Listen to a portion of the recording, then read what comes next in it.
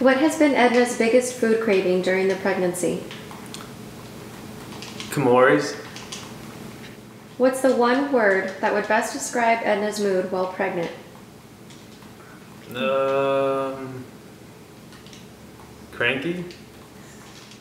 Do you think your baby will be born with no hair, a full head of hair, or in between? Uh, I think with a full head of hair. How many diapers do you think your baby will go through in the first year? Mm, probably like 5,000. What are you going to be most worried about if the baby is a girl? I guess little baby boys. What about if it's a boy? Um, nah, I don't think I would be worried.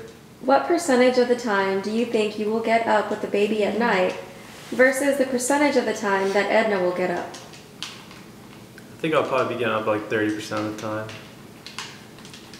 She hardly sleeps, so that'll be alright. Are you or Edna more likely to be the parent who says no?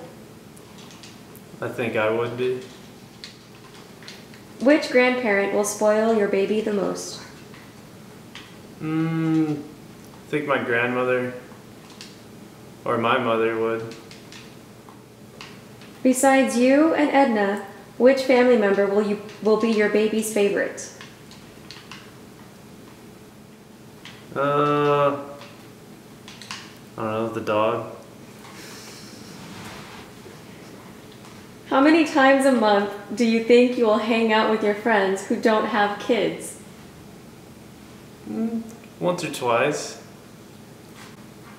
From 1 to 10, how prepared do you feel for the baby's arrival? With 10 being the most prepared. I'd say like seven. What are you most looking forward to about being a dad? Um, just having a, a full family and coming home to a, a child of my own. What parenting skills are you bringing to the table? Well, this is my first child, so I'm hoping to learn along the way.